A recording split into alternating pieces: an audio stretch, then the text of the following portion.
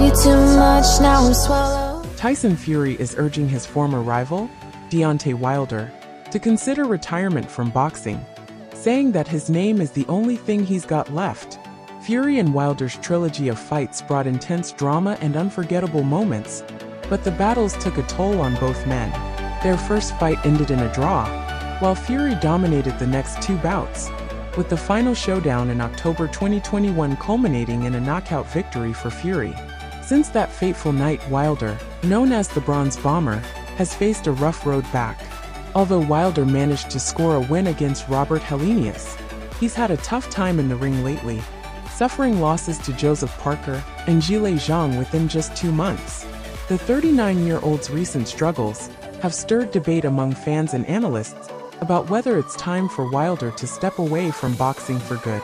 Now, Fury himself has joined the conversation, speaking out on the 4 Pound Pound podcast with a heartfelt message for his former opponent. I'd like to see poor old Deontay retire from boxing, Fury, now 36, shared openly. Obviously, he lost the three fights to me. We took a lot of years off each other's lives. That last fight, which ended in the 11th round by knockout, it takes a lot out of your tank. You don't just recover from fights like that.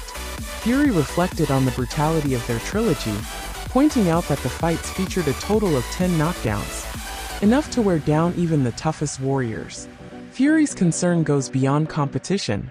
Even when he's come back and had a couple of fights since against Joseph Parker and Zhilei Zhang, he's only a shadow of his former glory, he said.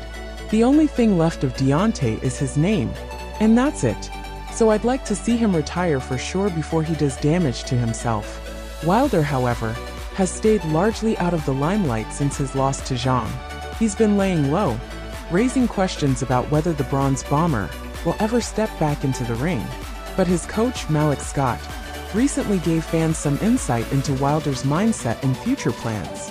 According to Scott, retirement isn't part of Wilder's immediate plan. Scott explained that Wilder's recent absence from the public eye is just a matter of him taking time for himself and his family. He definitely wants to fight again for sure, Scott said, hinting at what might be in store for 2025. Some good things should be coming up. For now, Deontay has just been resting and focusing on family and his businesses. Scott emphasized the importance of balance in the latter stages of Wilder's career, saying, when you're in the second half of your career and facing high-level opponents, rest is just as important as training hard. While Wilder and his team stay tight-lipped on a definitive timeline, Fury is keeping busy with his own career. He's preparing for his highly anticipated rematch with Alexander Usyk on December 21st, hoping to avenge his previous loss to the Ukrainian champion back in May. This showdown will mark another chapter in Fury's storied career, as he aims to reclaim dominance in the heavyweight division. Will Wilder heed Fury's advice and call it quits? Or will he prove his critics wrong and make a comeback? Fans can only wait.